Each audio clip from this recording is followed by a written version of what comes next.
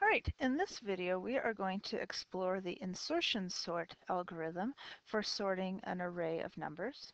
And with insertion sort what we do is we actually don't start at position 0 but at position 1 and we're always going to compare with all the values that came before and we're going to place whatever's at position 1 correctly with what came before it.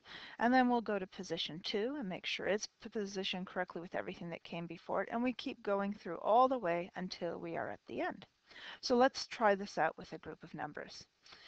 So here we are with our list of numbers, not sorted yet, and you'll notice that the index right now is at position 1. And what this number 9 is going to do is it's going to look with the number that came right before it, and it's going to compare itself to 3 and say, hey, I'm bigger than 3. I'm in the right position. And so we're going to move over to 6. Notice that 3 and 9 are in order, but the rest is not. Now 6 is going to look at 9 and say, hey, I'm smaller than you, so it's going to move the 9 over here, and then it's going to compare itself with 3 and say, oh, you're not um, any smaller than me, so it just pops right in there. And now 3, 6, 9 are all sorted, and so we can go to the next number. So we take the number 1, and it looks at 9 and says, wait, I'm smaller than you, so move over and it compares itself with 6 and says, I'm smaller than you, so move over. And it compares itself with 3.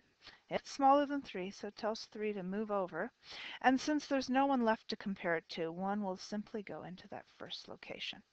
Now 1369 is all sorted, and we're ready to move on to the next number, 2. And 2 compares itself with 9 and says to 9, move on over. It compares itself to 6 and says move on over. It compares itself to 3. It says move on over. It compares itself with 1 and says, oh, I guess I found my location. And it goes right in there. And we can see how this is going to work right to the end. 5 will be the next one. And it's going to tell 9 to move over. And it's going to tell 6 to move over. But as soon as it encounters 3, it'll realize that it is found where it belongs. And then our last one, number 8 is going to look to 9 and say, yeah, I'm smaller than you.